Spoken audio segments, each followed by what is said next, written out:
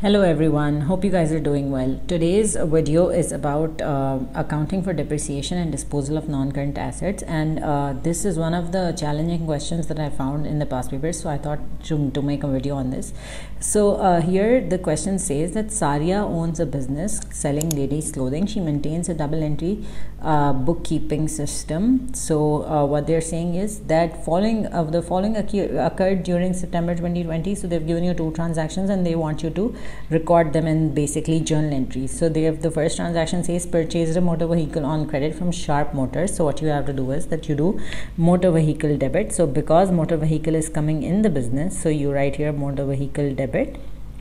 6350 and Sharp Motors credit. So because Sharp Motors is uh, someone who's uh, giving us the motor vehicle on credit so we'll be paying them in future. So that is our liability. So you write here sharp motors credit and you write here 6350 the next part of um, the same like the next uh, the next transaction here is ruhi a credit customer was declared bankrupt owing Saria 1200 so basically Ruhi had to pay Saria 1200 um, the debt is to be written off and she is not able to pay. So what you have to do is that you need to make an, a double entry for irrecoverable debt so what you will do is that you write here irrecoverable debts debit. Because irrecoverable debts is an expense so you debit the irrecoverable debts account and you credit Ruhi because Ruhi was someone who was a trade receivable a credit customer and uh, basically trade receivables are your assets and when you need to reduce the asset what you do is that you credit the asset account. So you credit 12 uh,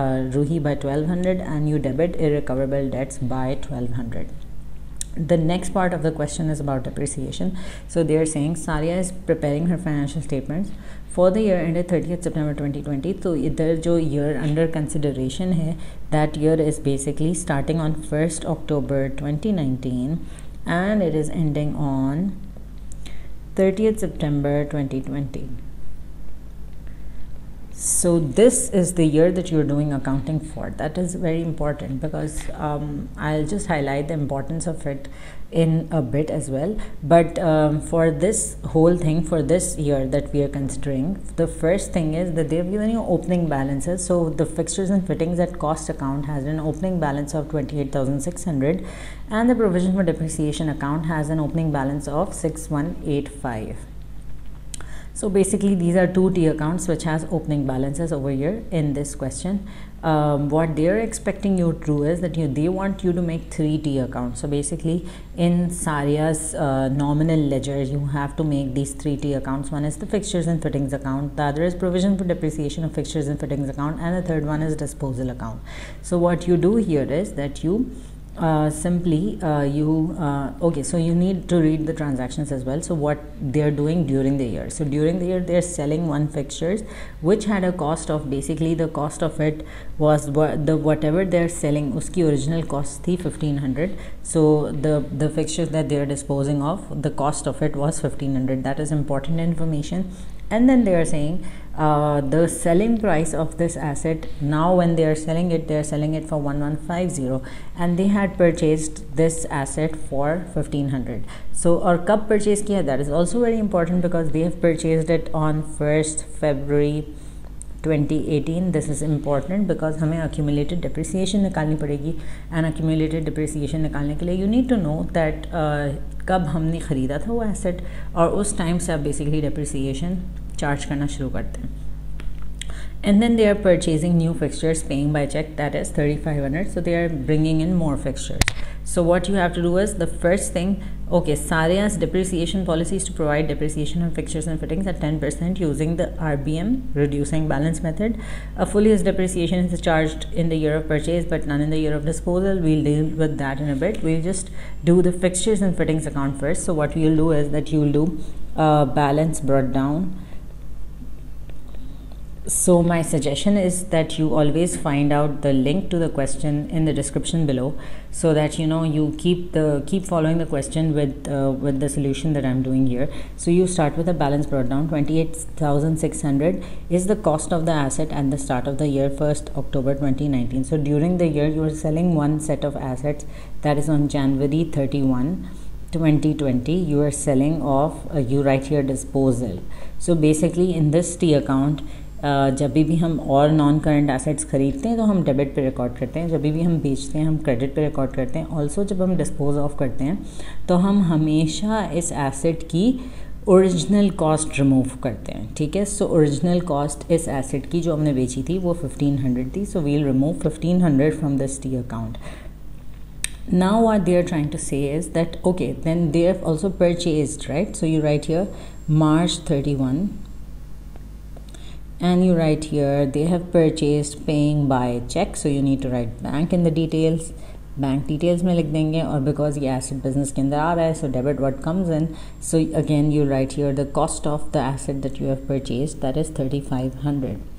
and then you will of, of course get a balance carried down. So balance carried down because you guys know already you total the heavy side minus the light side. So the total of the debit side is 32 100 you subtract 1500 so you get 30600 as your balance carried down. This will be december oh, oh sorry this will not be december. Uh, again this will be september 2020 end of September 2020 so 30th September 2020 when you balance this account so you need to total is 32,100 32,100 on the debit side as well. This balance carried down so basically this was balance carried down.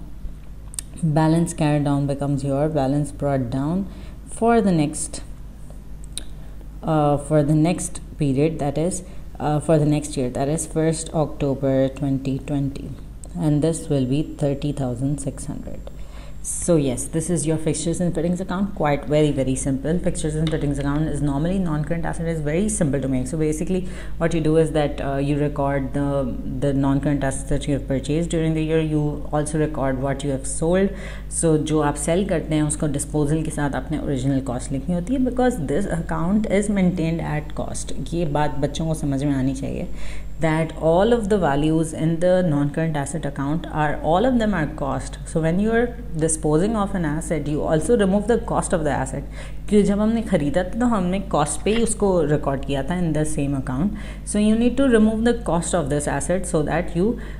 you come with a balance carried down which is the cost of the assets at the end of the year जो कि thirty thousand six hundred है इस case में. So the next part of it is the depreciation account. or depreciation account normally is um, is difficult to handle. So you need to be very very uh, firstly you need to read the question very well, very very well, and then what you do is that you proceed with the uh, workings. So basically do the workings first. So यहाँ पे हमें ये पता चल गया है कि हमारा जो R B M method use करना है और ten percent R B M method है and full years depreciation in the year of purchase none in the year of cell सो जो फिफ्टीन हंड्रेड का एसेट हमने ख़रीदा था और जो अभी बेचा है उसको हम इस ईयर डिप्रिशिएट नहीं करेंगे सो what you do is that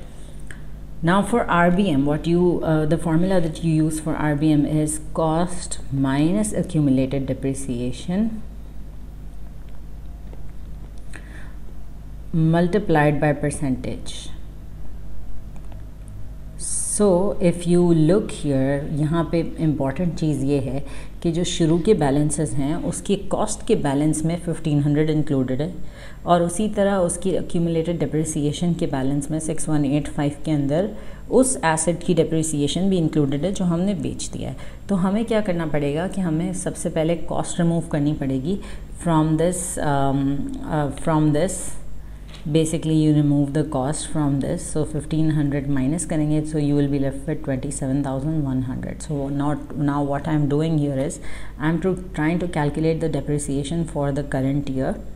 Right now ठीक है? तो करंट ईयर की डिप्रिसिएशन निकालने के लिए सबसे पहले आप रिमूव कर देंगे। करंट ईयर की डिप्रिसिएशन भी साथ साथ निकालनी और डिस्पोजल की वैल्यू भी साथ साथ निकालनी so accumulated depreciation on the asset that I have dispose of also the current year depreciation that is the income statement value that will be charge against the profits so to reach to the income statement value I need to know कि मेरी accumulated depreciation क्या है उस asset की जो मैंने बेच दिया so what I do here is that uh, firstly मैं 1500 तो remove कर दूँगी so I'll be left with 27,100 what now the main calculation here is that I don't know what is the accumulated depreciation of that asset which I have disposed of ठीक है तो मुझे लेकिन date of purchase पता है ठीक है सो so, जो डेट ऑफ परचेज थी वो फर्स्ट फेबररी 2018 थी and now with my I need to go back in the time line so the time line here is from first October 2017 uh, to 30th September 2018 was the first year of this asset जो अभी मैंने भेजा है, ठीक है? तो ये इसका फ़र्स्ट ईयर था और इसमें मुझे फुल ईयर्स डिप्रिसिएशन चार्ज करनी है according to according to the policy the second year for this asset was first October 2018 से लेकर thirty September 2019 and the third year जिसमें हम बेच रहे हैं that is first October 2019 nineteen to third year September twenty और इस year में मुझे इसको डिप्रिशिएट नहीं करना है। So I don't have to worry about the third year but this depreciation this asset which I have dispose of needs to be depreciated for two years वही उसकी अक्यूमुलेटेड डिप्रिसिएशन होगी। So what I do here is that okay so cost in the first year of course is 1500 minus accumulated depreciation in the first year is always zero and then you multiply it by 10 percent so you get $150 as depreciation on this asset which you have disposed of for the first year then what you do is that you do 1500 minus 150 तो 150 accumulated depreciation हो जाएगी second year में and then you multiply it by 10% so you get 135 So here you go that is 150 plus 135 gives you 285 and 285 is the accumulated depreciation on that asset which you have disposed of ठीक है तो 285 उसकी depreciation and now what I do is that income statement की value निकालने के लिए मुझे initial balances में से I need to remove uh, 285 as well so, initial जो मेरी accumulated depreciation थी opening balance उसमें से मैं 285 remove करूँगी so I'll be left with 5900 ठीक है fifty nine hundred so again now i now for the income statement value what i do is that i write here 27100 minus 5900 जो कि remaining uh, remaining cost of remaining assets is 27100 accumulated depreciation of the remaining assets is 5900 and then you multiply it by 10% so what you get is 2120 okay so this is for the cost of uh, this is for the depreciation for the current year for the remaining non-current assets also हमने एक नया asset add किया 3500 का so 3500 minus 0 multiplied by 10% again gives me 350 so the income statement value is 2120 uh, 2120 plus 350 which gives me 2470 2470 is the income statement value uh, for the current year. So now uh, 285 is the disposal value for the uh, for the disposed of asset. That is the accumulated depreciation on the asset that you have disposed of. Now what you do is that to make the provision for depreciation account what I do is I start with the balance brought down that is given in the question. That is 2185 ye accumulated depreciation t sorry 6185 ये accumulated depreciation थी at the start of the year 6185 and the date will be 1st October 2019 okay so on 30th September what I'll charge is will be my income statement. 30th September 2020 income statement and this will be the value will be to four seven zero over year ठीक है और यहाँ पे जिस जो मेरी date of this disposal है जनवरी thirty one twenty twenty I right here disposal and this will be to eighty five that is दो साल की accumulated depreciation will come here now what I do is that I calculate a balance carried down so simply balance carried down किस तरह निकलेगा six one eight five plus 2470 minus 285 will give me 8370 if you put that in the calculator. So balance carried down hamesha kaise calculate karte hain total of the heavy side minus total of the light side. So this will be september uh, 30th september 2020 and then you'll balance this account you'll write here 8655 and uh, the credit side will also be 8655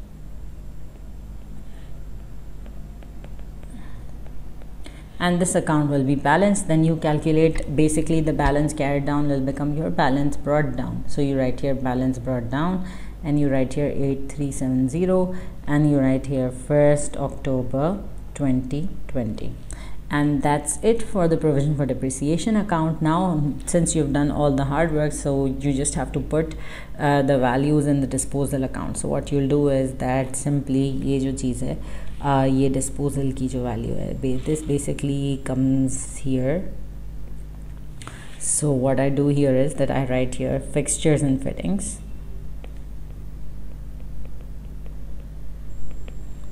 ठीक है and then this will be 1500 and then uh, this value the disposal that is accumulated depreciation on the asset that you have disposed of this becomes your provision for depreciation over here provision for depreciation. And then this will be 285 so to also you should also know कि profit या loss on disposal जो है there are two ways to calculate it once that you one is the balancing figure of the disposal account if you are not if there just directly ask you कि profit या loss on disposal calculate करें तो आपको simply क्या करना पड़ेगा? आपको net book value of the non current asset which you have dispose of उसको निकालना पड़ेगा। सो so, इस केस में net book value of the non current asset which you have dispose of will be 1500 that is is two eighty five that is 285 that gives you 1215 that is the mm, net book value of the non-current asset which you have disposed of. Now what you do is that you compare this with the selling price. So mm, when net book value is greater than your selling price which in this case it is so that is the case where you have a loss. So basically you expected 1215 you collect you expected to collect 1215 from the sale of non-current asset but you actually received 1150 so what you do is that this will the difference between the two so the net book value and the selling price the difference between the two is the loss so loss is 65 over here so uh, the basically depreciation के account disposal के account में there will be non current asset on the debit side जो कि fixtures and fittings है इस case में on the credit side you have provision for depreciation the third double entry for disposal is bank debit disposal credit so in the bank account you write disposal on the debit side in the disposal account you write bank on the credit side you write here bank and you write here 1150 which is what you have received uh, by selling the non-current asset and you have received the money in check so you know this by this uh, basically these are the keywords to tell you that you have received money by check ठीक है उसके बाद अब ये account balance नहीं होगा तो अब ये अकाउंट क्यों नहीं बैलेंस होगा क्योंकि लॉस हो रहा है तो आप यहाँ पे जो है उसको बैलेंसिंग फिगर बना देंगे इनकम स्टेटमेंट लिखेंगे यहाँ पे and uh, this will be the difference between the two to the total of two sides. So basically uh, the total of the debit side will be it's 1500 and the total of the credit side in this case